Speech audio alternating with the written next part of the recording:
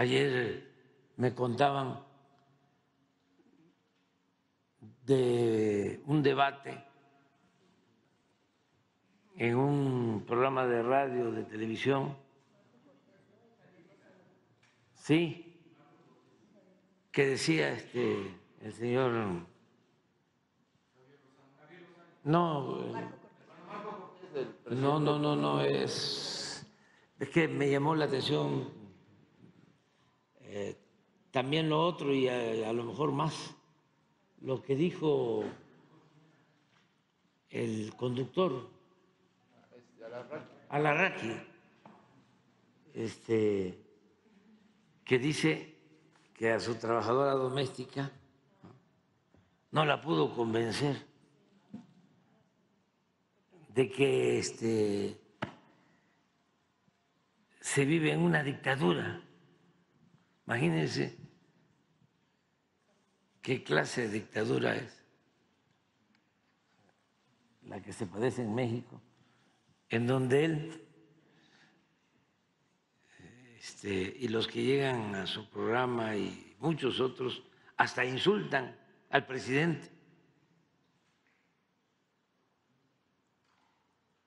Y nunca, nunca, jamás han sido censurados,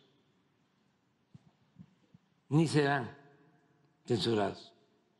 Pero, dice, es que le dije a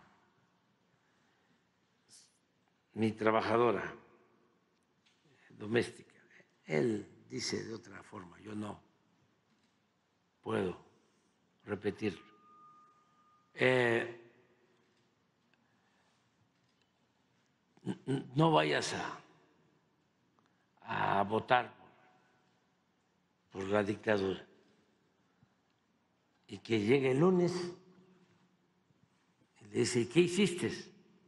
¿Votaste por ese movimiento?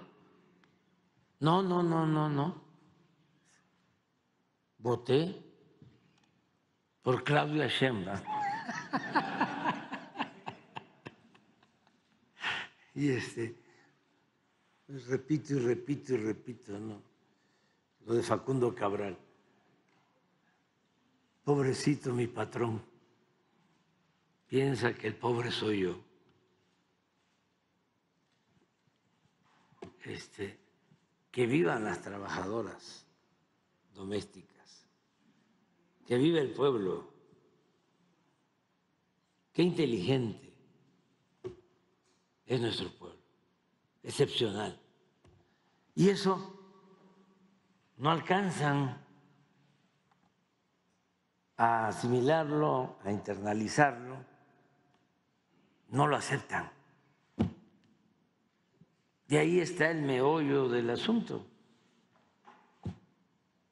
porque ese clasismo, ese racismo, les impide ver la realidad. Viven en una especie de enajenación obnubilados, obcecados en pues eh, una burbuja que desde luego es parte de nuestro país. Ellos son mexicanos con todos sus derechos y deben de ser respetados, pero hay otros mexicanos. México no es de una minoría, no es país de unos cuantos. México es país de todos, mujeres, hombres, del campo, de la ciudad, pobres, ricos, creyentes, no creyentes, de todas las culturas. Eso es nuestro país, nuestra patria.